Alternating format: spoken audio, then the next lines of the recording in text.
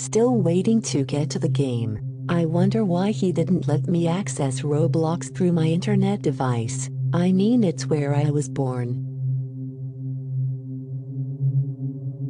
I'm not complaining, this ship is very relaxing, I just wish he didn't destroy the transportation. Sometimes I want to play games fast.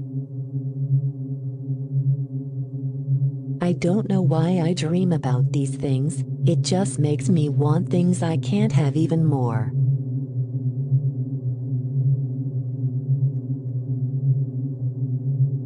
Hello, Rogirl.